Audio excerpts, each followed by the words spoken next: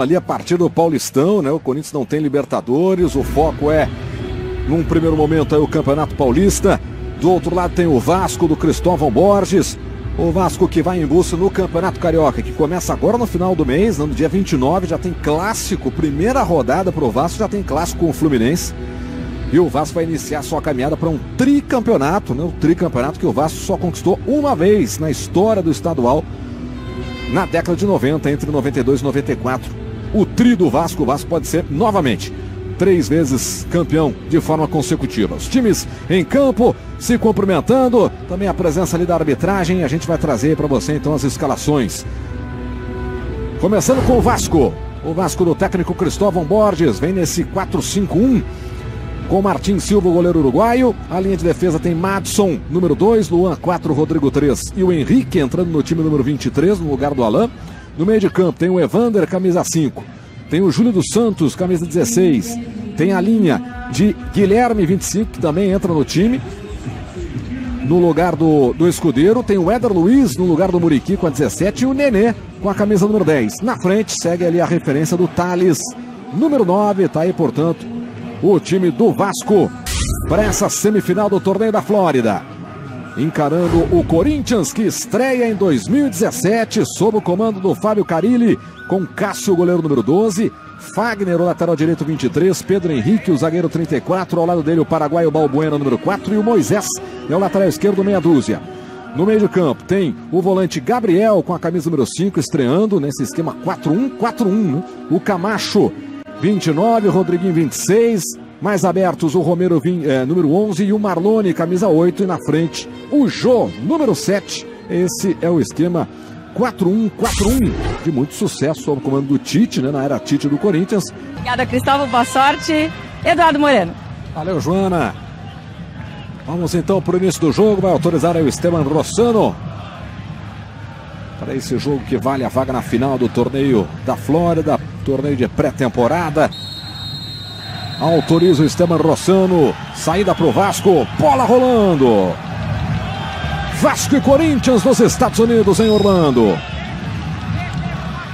E já vem ali a primeira. Na cabeça você encaixar questões físicas, aptidões, equilíbrio de elenco, momento de cada um. O resto é com o treinador, mas tem que definir logo o elenco. Olha o Matson tirando o cruzamento para a área. Albuena para afastar o rebote do Vasco. Vem o chute no canto. A bola passa à esquerda. Acompanhando as suas equipes aí na Flora nessa pré-temporada. No Jô, encheu o pé. Conseguiu rebater o Martin Silva. Rebateu mal o Rodrigo. A bola ficou com o Camacho. O Camacho tocou para o Romero na linha de fundo. Vem o levantamento na segunda trave. A bola sobrou no Jô. Ajeitou, bateu, bateu prensado. Insistiu o Jô, brigou no alto. Ficou no chão ali o Luan, tá valendo. Fez a cobrança o Nenê fechadinho. Sensacional ali o Cássio. Oh, olha só. Wagner. Boa, a bola estava livre de marcação. O Camacho. Ele tocou pro Rodriguinho, ajeitou, bateu pro gol, defendeu Martin Silva. Futebol brasileiro, apesar de ser início de temporada, ser um torneio amistoso, todo mundo quer ganhar. Lá vem levantamento. O toque de cabeça, defesaça do Martins Silva, a bola voltou e não acredita o Rodriguinho que essa bola. Olha só a defesaça do Vasco, né? Ele ficou pela direita, o Luan pela esquerda. Por conta da última descida ali do, do Corinthians, que chega de novo com o Camacho pro Rodriguinho. Que bonita devolução, Camacho bateu! Gol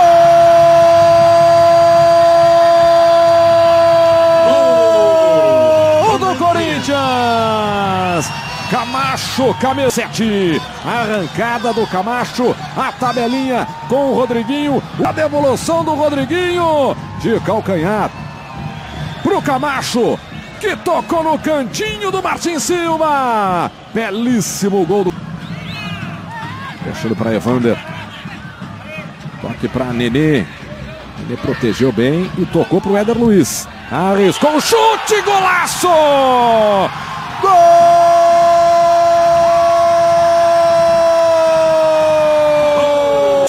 Do Éder Luiz. Arriscou no ângulo, tirando do Cássio que se esticou, não deu para ele. Um pro Vasco, um pro Corinthians. Um Recebe o combate ali do Pedro Henrique. Éder Luiz agora tocando pro Evander.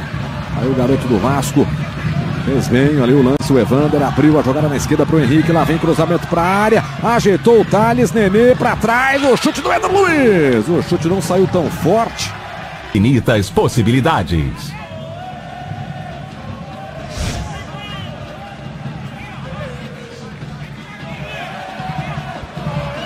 A cobrança do escanteio para a equipe do Vasco, vem levantamento. Conseguiu afastar o Pedro, a bola voltou. Mas não está valendo. Está marcando impedimento aí do Thales.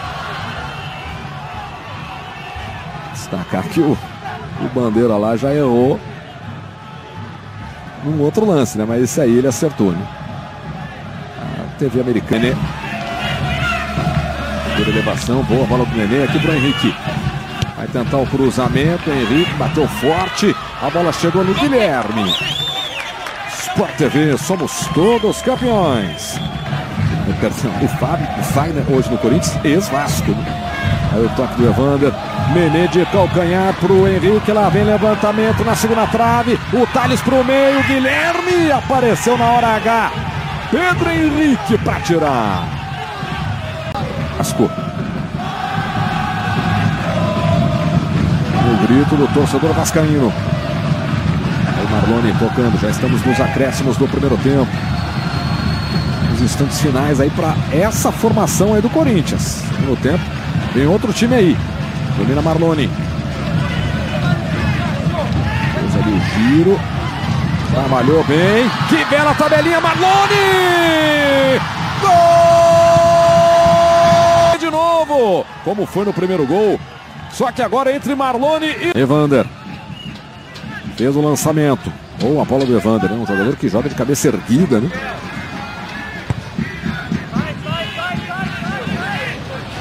Júlio dos Santos. Aí o Escudeiro. Bonito drible do Escudeiro para cima do Paulo Roberto. Mandou para dentro da área, mas estava impedido ali o Iago Pikachu. À tarde, horário de Brasília ao vivo.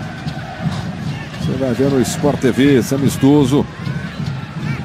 Vamos ver essa tentativa de longe ali, né? É uma. O Palmeiras que desde os primeiros momentos, nas primeiras horas, já se prontificava aí a, a ajudar e a homenagear né, a Chapecoense. Logo em seguida veio a ideia de, de marcar esse amistoso, então que vai ocorrer neste sábado, a partir já a transmissão do Sport TV de 4 da tarde, em 4 da Chapecoense. Esse jogo será no Engenhão, na próxima quarta-feira. E amanhã a convocação do Tite às 11 da manhã. Sport TV mostra dentro do Redação Sport TV.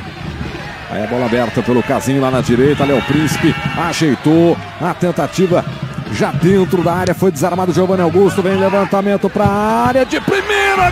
Guilherme. E o Martim Silva estava ali no cantinho para mandar para escanteio. Guilherme. Saiu amarelo para o Rodrigo, hein?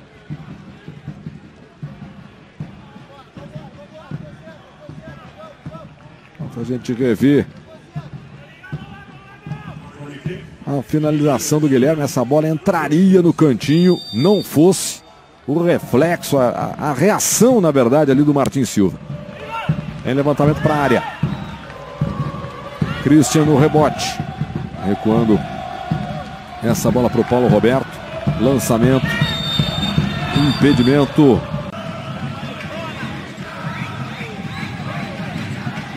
Aí o Marcial é na cobrança desse lateral, forçando lá na frente. Rebateu o Pikachu.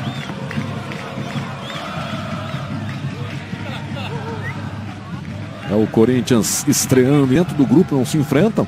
O Corinthians estreia dia 4 de fevereiro fora de casa contra o São Bento. E o primeiro clássico para o Corinthians será no dia 22 de fevereiro, na quinta rodada. Vai jogar em casa na Arena do Corinthians contra o Palmeiras. Jogadores na área. A falta para o Corinthians. Quatro já autorizou. Lá vem o levantamento do Marquinhos Gabriel. Tirou de lá Rodrigo.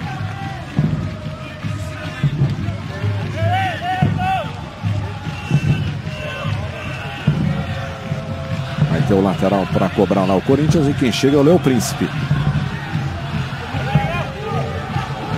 Tabelando ali o jogador da base do Corinthians, Léo Príncipe. Recebeu a devolução, linha de fundo, tenta cruzar.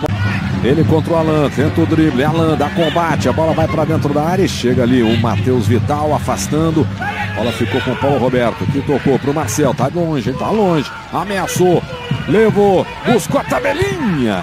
Com o Marquinhos Gabriel, bola volta para o Marquinhos Gabriel, linha de fundo. Levantou, segura a trave, Casim! Gol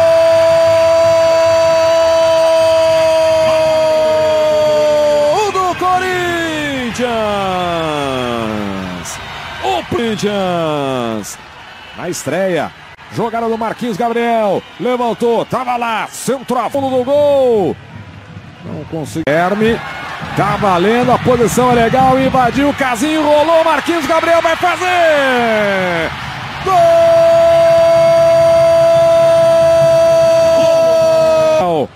E tinha plenas condições.